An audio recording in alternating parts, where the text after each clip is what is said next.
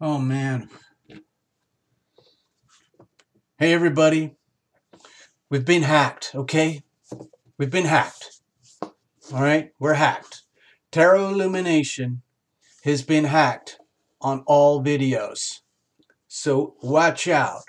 Where we are right now on this little YouTube page, this is the only genuine article, okay?